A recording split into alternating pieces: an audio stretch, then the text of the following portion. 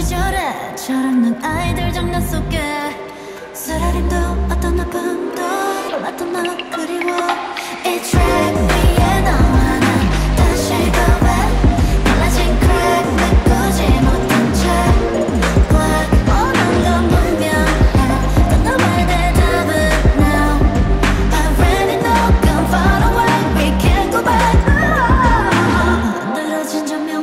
그 속에 보잘것없는 모습.